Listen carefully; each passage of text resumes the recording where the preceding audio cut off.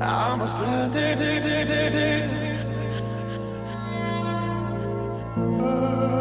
I'm not envisioning.